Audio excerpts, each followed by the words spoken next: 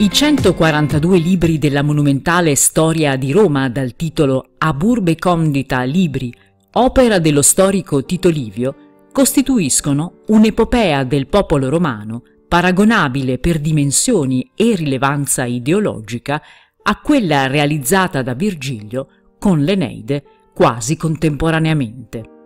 Partiamo dalle dimensioni e dal contenuto. L'opera, alla cui composizione Livio, originario di Patavium, dove era nato nel 59 a.C., si dedicò interamente per 44 anni, dal 27 a.C. fino al 17 d.C., l'anno della sua morte, abbraccia ben otto secoli di storia, dalla fondazione della città all'età contemporanea fino al 9 a.C., anno della morte di Druso, figlio di Livia, moglie di Augusto.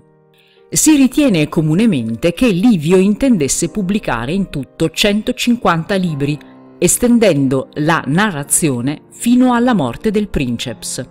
Dei 142 libri effettivamente composti dallo storico, ne rimangono oggi solo 35, all'incirca un quarto dell'opera, ed esattamente i primi dieci che raccontano la fondazione di Roma, l'epoca dei re e la fase più antica della storia repubblicana fino alle guerre sannitiche, e i libri dal XXI al XV che abbracciano un periodo decisivo della storia romana, dall'inizio della seconda guerra punica nel 218 a.C.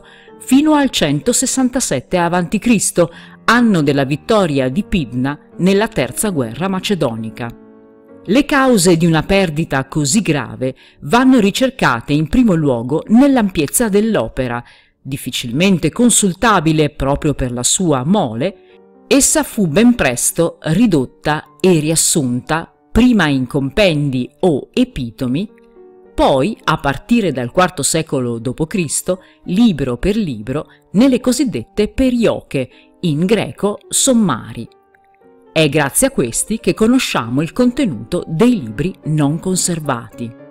Per raccontare la grande ascesa di Roma da modesto villaggio sul Palatino a impero mediterraneo, Livio adotta il metodo di racconto tradizionale della storiografia romana, vale a dire quello annalistico, in cui gli eventi, secondo la tradizione degli Annales Maximi, compilati dai pontefici, erano raccontati anno per anno.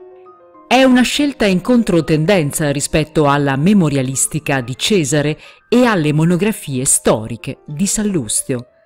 Ma il recupero di una modalità più arcaica di narrazione storica è in sintonia con il generale ritorno alle origini che rappresenta il focus dell'ideologia augustea.